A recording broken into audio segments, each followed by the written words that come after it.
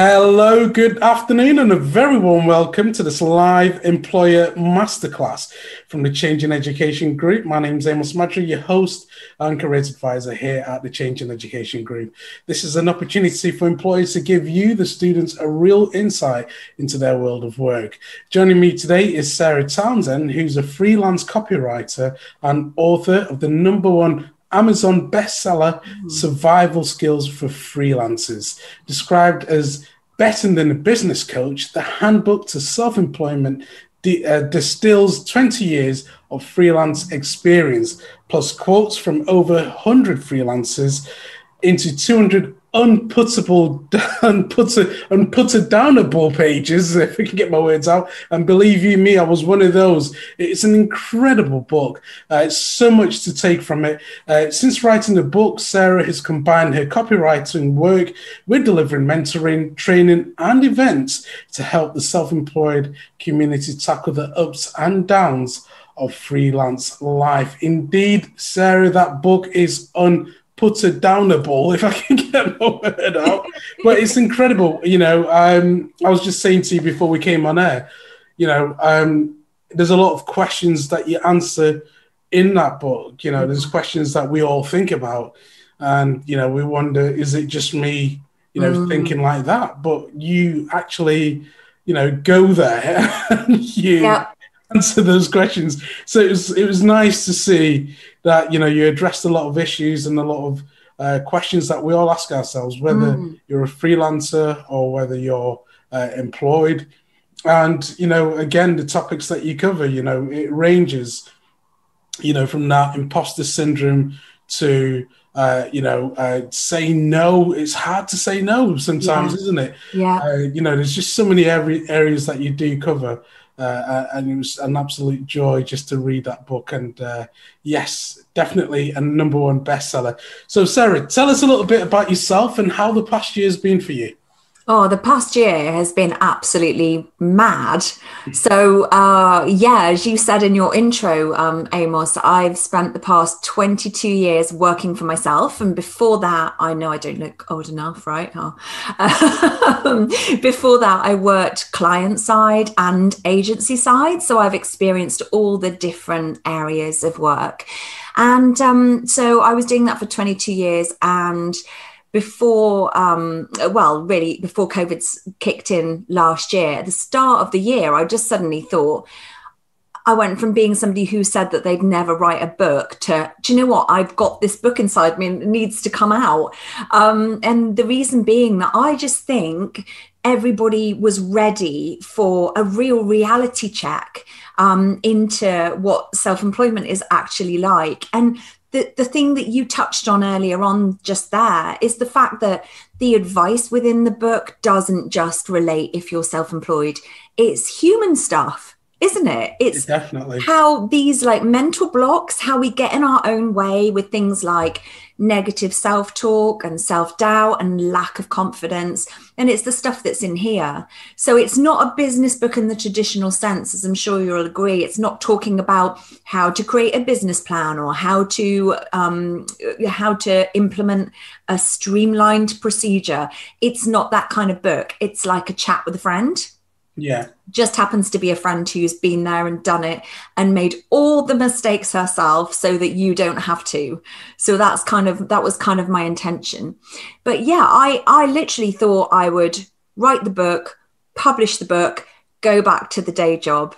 But if that was the case, I wouldn't be here today talking to you. So instead, I found myself, as you said in the intro, doing mentoring um, for a group of 10 women on the Freelance Hair 100 project. I've done almost 50 podcast interviews, over 50 live events.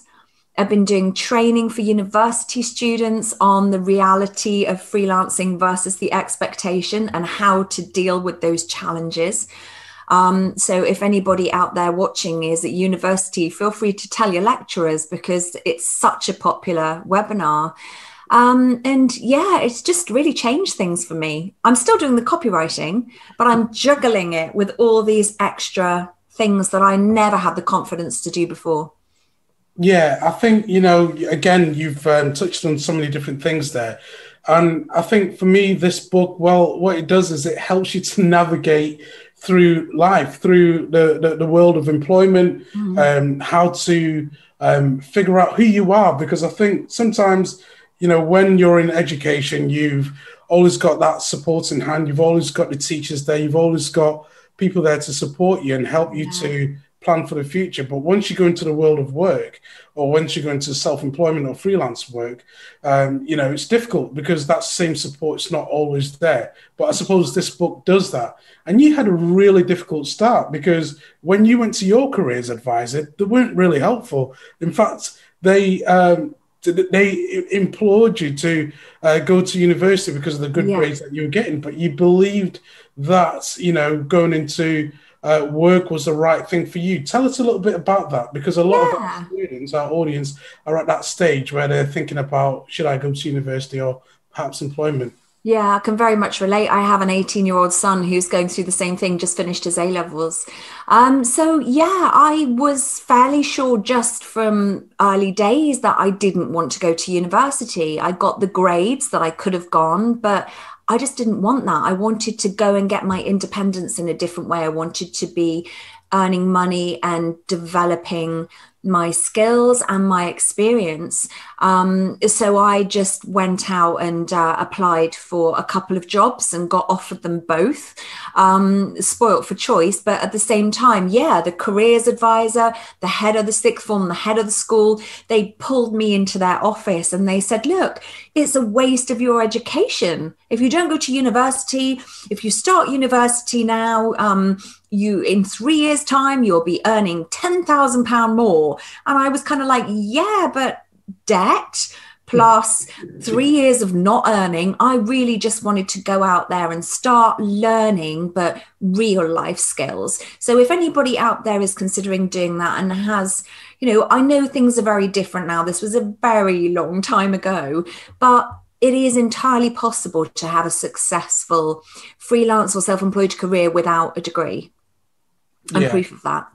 Definitely, I think you, you you clearly proved that, and I think again, you know, going back to uh, that early stage when um, you you started with your first job, your enthusiasm and you're willing to work hard. I think you know they, they, they were able to see that, and they they thought, you know, there's something here, there's something special um, you know, with, with, what we've got here, and mm-hmm. they put you as an ambassador uh, for for the company, which opened ultimately more doors for you, gave you the confidence to go into more senior positions. And of course, when you uh, even switched to another company later on, you were still able to uh, go into um, more senior positions because of that. Uh, mm. You know, those skills of uh, those soft skills, uh, I'd say. Could you talk to us a bit, a bit about that? So important. I think there's often with a lot of schools and a lot of educators, there's a lot of a focus on being the best academically, but there's not enough focus on who you are as a person. And personally, I think I am slightly biased because I didn't go down the uni route, but I think getting real life experience, but more than that, showing initiative being keen to learn, being open to new challenges, being curious, all of those skills, as you say, I just think tenacity is underrated. So, kind of that sticking, you know, really, you decide you want something, stick at it. Don't be flaky. Don't kind of drop out as soon as a challenge hits, because it's actually by going through those challenges that that is how we learn and grow as individuals. And then ultimately when you get to my age as business owners. So um, yeah focus really on being the sort of person that is going to be an asset to someone's team that you're going to be someone who really people love working with because they contribute they show initiative they have a, a fun side. You know you have to take work seriously of course but you don't being professional these days doesn't mean wearing a suit and being very serious and only talking about business. It's all about being a human being who is adding something to an organization or a business. What can you bring to the table? Yeah, definitely. I think you've made a really good good point there, and it's um, you know, uh, expressing those skills that you've already got. You know, Uh, it might be that you're empathetic, you're caring, um, you're good at listening to people. And these are things that you do at home, and your family might say that about you. Uh, and you might not think that those are valuable, but in mm. fact, those are the very skills that get you further. Yeah. And, you know, again, you've uh, eloquently just touched on that there. How can our audience identify these skills and how can they uh, improve on those skills as well? Um, well, something that I share at the start of Survival Skills for Freelancers is that it is really important to get to know yourself. Um, and, and really, I say that in the context of if you're thinking of going freelance, but really, it's important for anybody, whatever route into your career you decide to take, because by being aware of the things that you think, oh, that's a weakness, I'm rubbish at that. If you can spend some kind of real soul searching time, maybe just with a physical piece of paper in front of you, and write down a list of what people say. It's not always things exactly as you identified there, Amos. It's not always things that you can see in yourself. And if you ask people who know you well, actually just say, what three words would you use to describe me? The chances are they'll come up with qualities and characteristics that you haven't even thought you possessed. So that is really important.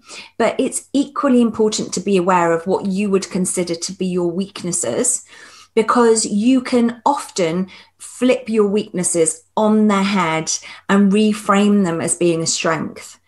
So, to give you a real life example, and I talk about this in the book as well go into more detail, in actual fact, I am really impatient.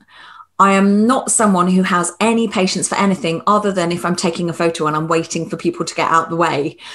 But literally, in my career, in business, in my life, in being a mum, I hate waiting. So you could kind of go, oh, yeah, that's a real, you know, we'll try and bury that because that's really not a good quality to have. But on the flip side, turn that into a positive I'm someone who's really driven. I make things happen. I wrote a book in six weeks, you know, and it's become a bestseller. I did all the publicity, all the marketing. So I'm really driven to do the things that I know are going to kind of fulfill me in my career and in my life. And actually, by being quite an immediate person, so if I think, oh, oh, you know, I should really connect with that person on social media or on LinkedIn or whatever. Um, I don't know how many of you, if any, have actually thought about even putting up a profile on LinkedIn, but it is really helpful, whatever you decide to do in your career. But actually, if I think I want to connect with somebody, I'm not going to wait. I'm not going to add it to a to do list. I'm just going to do it now. So, having that kind of driven determination, that's the flip side of being impatient. So, have a think about some of the things that you could think other people could go, oh, you know, you're not um you, are not good at paying attention necessarily. Well perhaps that means you've got a million things going on inside your brain at any one time which is very much like me. And in actual fact if you can tune into that and you can learn to harness that as a strength and a skill that's going to stand you in such good stead so um, there are a number of personality tests that I share in the book, as Amos knows. And um, I always say that if you are going to be working for yourself or by yourself, you really need to get to know yourself better. Whatever you decide to do in your career and in your life, that is good advice. So um, look up the personality tests. The Myers Briggs is a really famous one. It's on the internet as 16personalities.com yeah, I believe. Offer that as well as uh, part of the, the work experience. Perfect. Fantastic. Yeah. It's so insightful and it'll really give you an eye opening view on what your own strengths and weaknesses are. And when you know what your weaknesses are or the things that you need to work on, that's precisely it. You've identified those areas that perhaps you're not as strong as you would like to be, but that's a gift. Knowing that is a gift going through life being oblivious to what your weaknesses are is a whole different story. But when you know what they are, then you can address them. Then you can learn new skills, new ways of doing things that really tackle those challenges, I guess. And it also helps to kind of flag you up to the sorts of things that you're likely to find challenging throughout your life and your career. For example, I'm a really sensitive person, like highly sensitive. And um, everybody said to me when I started working for myself, you have to have thick skin. And I did a poll on Twitter when I first started saying, to be a successful freelancer, you need dot, dot, dot and so many people responded. We're talking in the hundreds. And the number of times people said, you need to be thick skinned. And I thought, well, I'm not. And I've never let it, never let it hold me back. So being aware is really helpful because you can address. I like that self awareness and just being true to who you are. Yeah you know and i like what you said that uh, there you know just do it now i think it was w clement stone that says uh, if you see something just do it now. Just do it quickly. Do it now. So really important to uh, be prompt in uh, your actions uh, so that then at least it's done um, Can I share a, another really useful quote on that basis, just very yeah. quickly? So, Richard Branson said something that also kind of relates because when we realize that we've got this weakness or this area that we're not as good at, quite often we'll get in our own way and we'll stop ourselves from taking those opportunities that are going to develop us as a person and develop our career.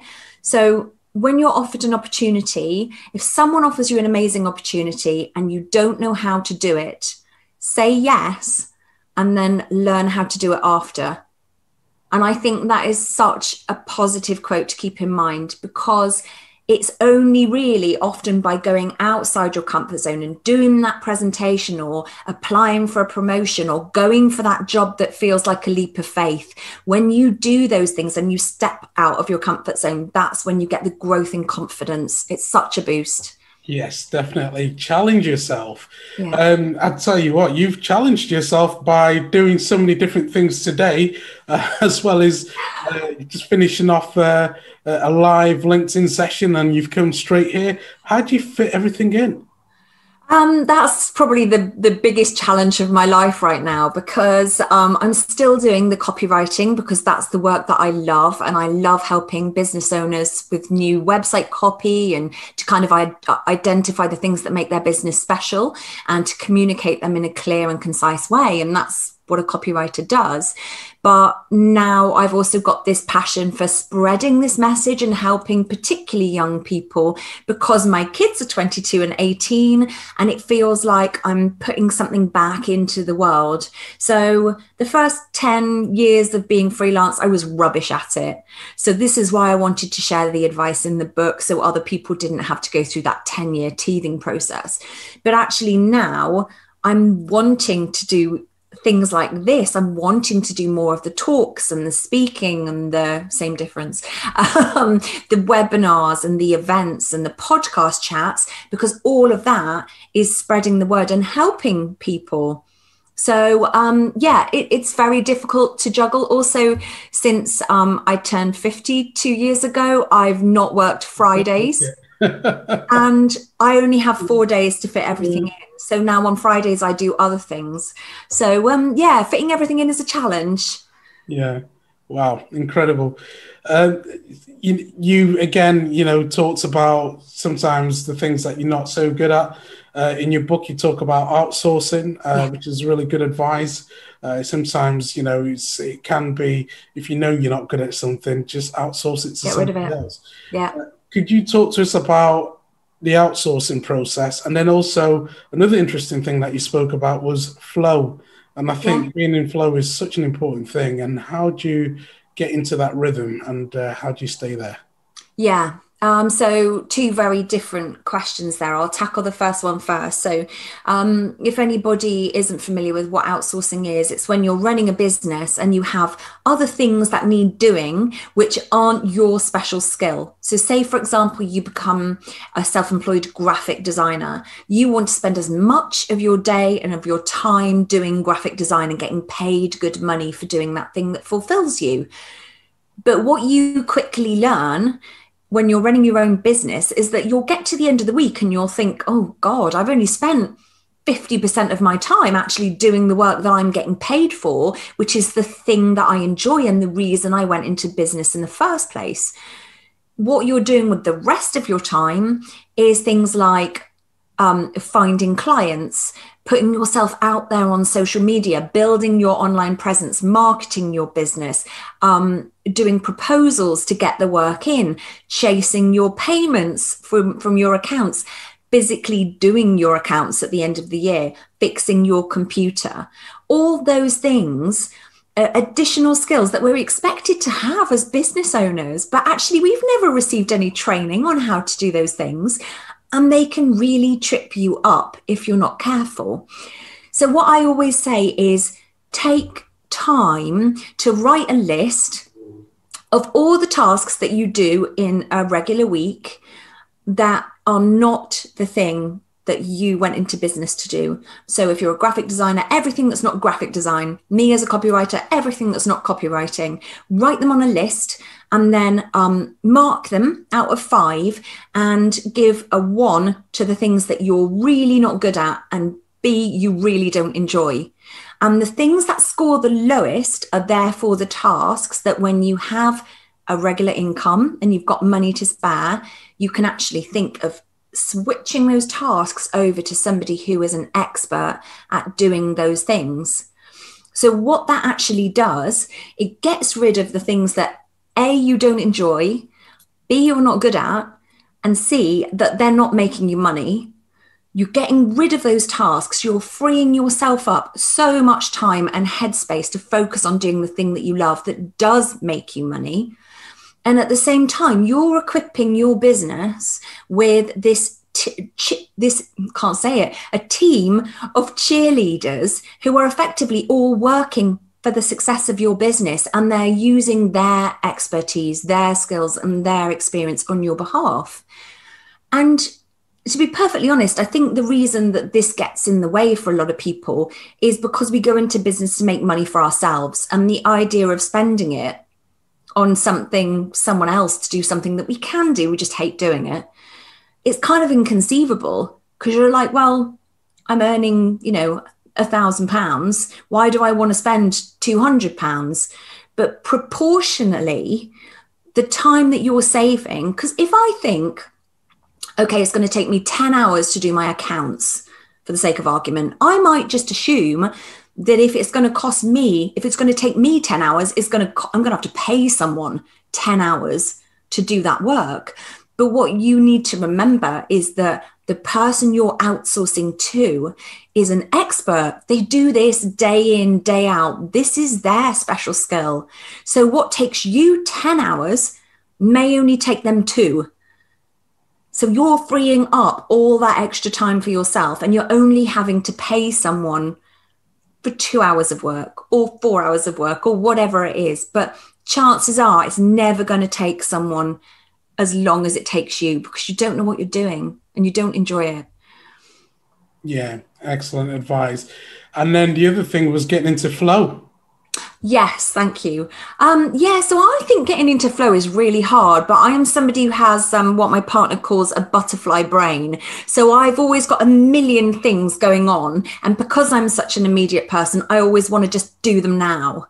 So for me, at the start of the year, particularly when we'd gone through COVID, I just decided that one of the things I really love doing is reading. And I really was not making enough time, in fact, really barely any time to read, apart from when I was on holiday. So I decided to make a really small habit shift that's made a big, big difference to my life. So now at the start of every day, what I would do was pick up my phone, turn off my alarm, and go straight into social media. I don't want to do that. I don't want to be kind of getting sucked into scrolling unintentionally as soon as I've woken up. So instead, I now pick up my book, I read for half an hour, and I do the same at the end of the day to keep me off my screen.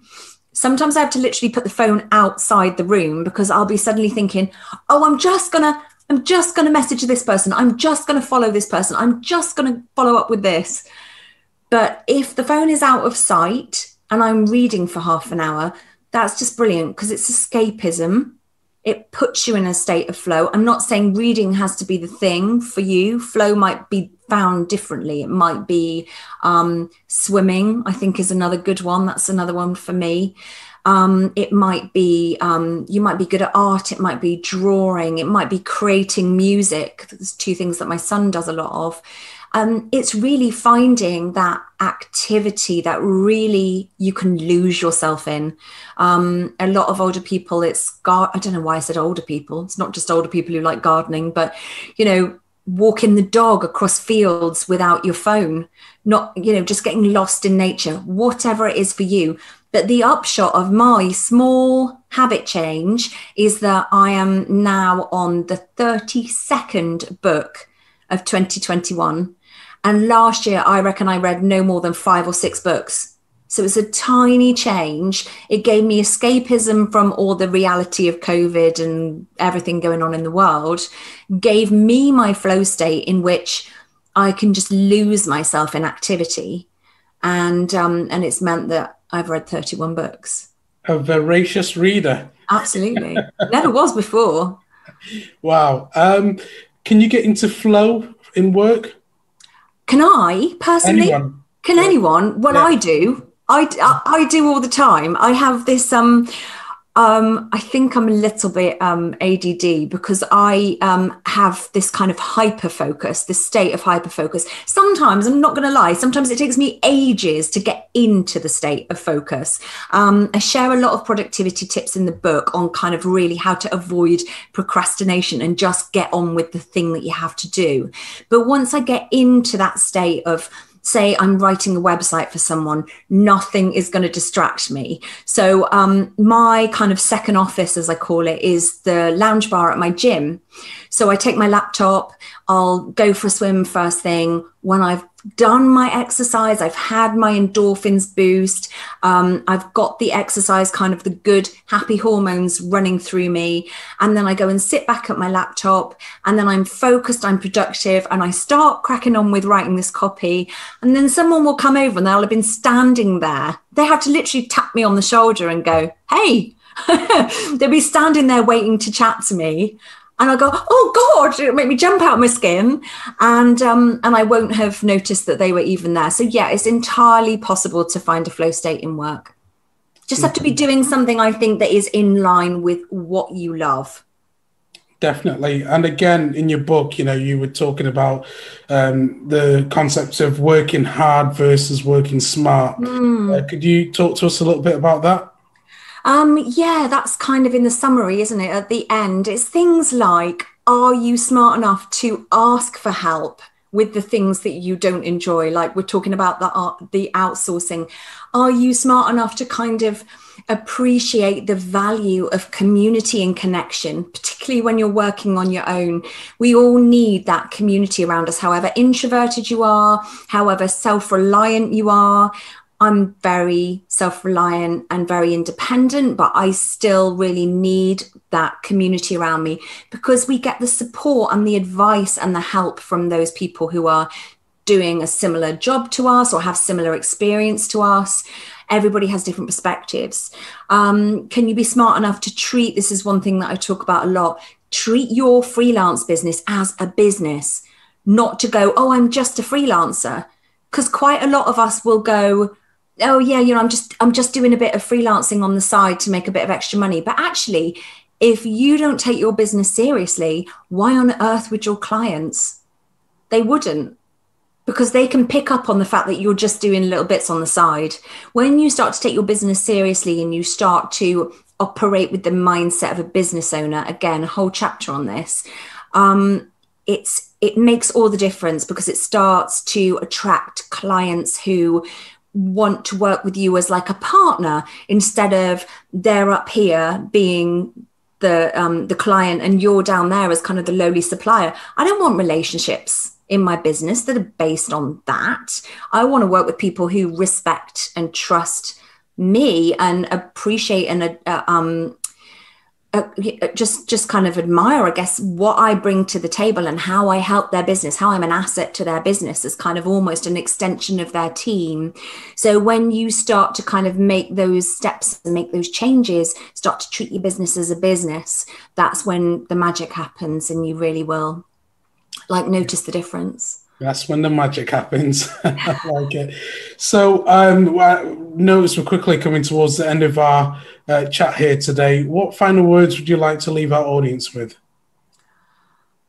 Oh gosh. Um Yeah, that's a big question. I would say whatever you want to do, learn from people who have already been there and done it because if you find the right people, a lot of people will be very generous with their advice you can learn from the challenges that they've been through. The whole of um, Survival Skills for Freelancers is all about me sharing the mistakes that I've made so that other people don't have to. So, um, really kind of open your eyes to the power of connection, keep an open mind, stay curious.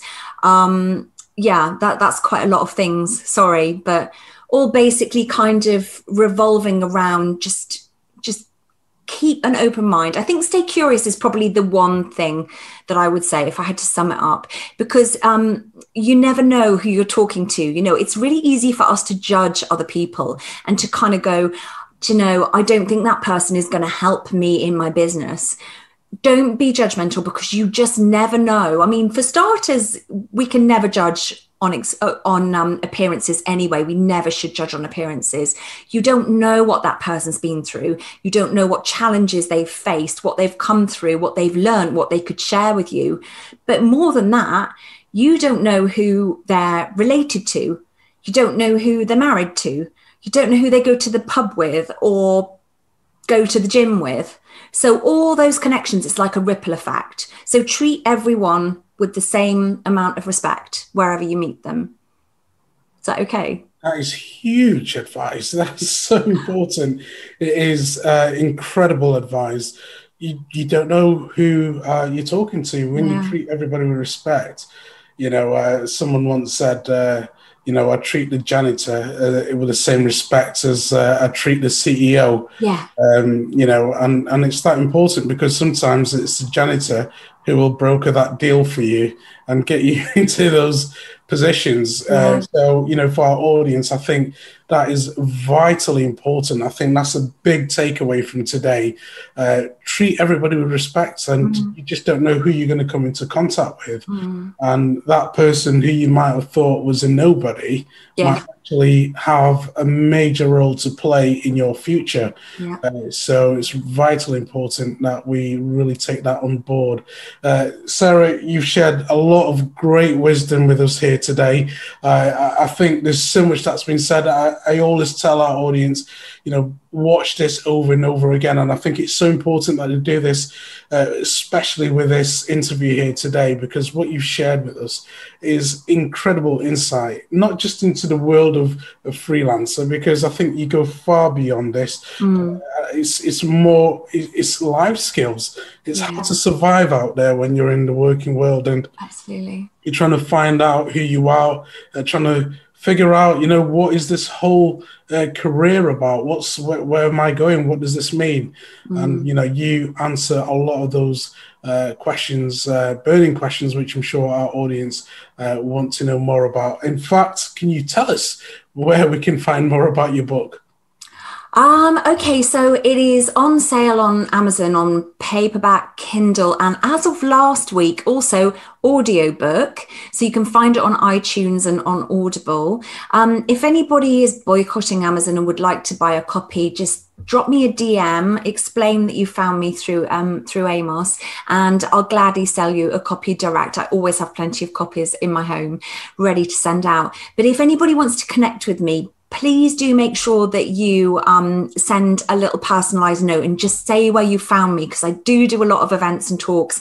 I'm always more likely to connect with someone or to accept a connection request if I know where you've come from and what you found most helpful about the talk. Um, the probably the best place to actually find me is to go to survivalskillsforfreelancers.com because that is the, the the book's website as it were it links to my copywriting website if you'd like to know more about what a copywriter does it also links to my social media so you can find me on linkedin instagram and twitter mainly and it also links to my email address. Um, but definitely try to connect with me um, somewhere on social media and let me know that you've watched and you found it helpful. I'd really appreciate that. Excellent. And good luck to you all, whatever you do end up doing. Fantastic. Sarah, thank you so much for spending uh, this afternoon with us in your busy schedule. It's been an absolute joy just having you here, listening to uh, your words of wisdom, giving us knowledge and understanding, and helping us uh, through uh, life navigating our way around uh, with your experiences. So, from all the team here at the Changing Education Group, thank you to all our audience. And for those of you who've uh, stayed up late in Dubai to make sure uh, you catch this, it's been great having you guys on board. Thank you so much for taking part in this week of virtual work experience. So, from myself, from Sarah, from all the team here at the Changing Education Group, thank you very much. Take care. Bye bye. Thank you. Bye bye you